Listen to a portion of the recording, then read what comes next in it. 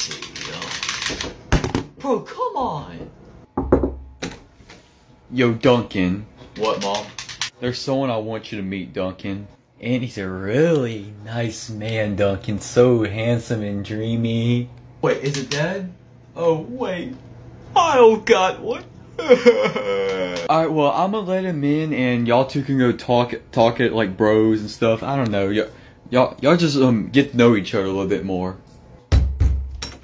Yo, what up, Jit? Bruh, don't ever come in here and say something goofy like that, bro. You just sounded so white just saying that. Oh, my bad, my bad, my bad. Well, do you play baseball? No. Football? Definitely not, bro. After throwing eight interceptions, no, bro. Definitely not. Basketball? Nope.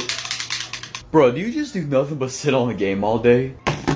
Bro, you can get out, bro. It was good meeting you, whatever your name is. Oh, my name is Sebastian, by the way. Sebastian Vincent. I didn't ask. And that's a terrible name anyways, bro. Bye. You can get out.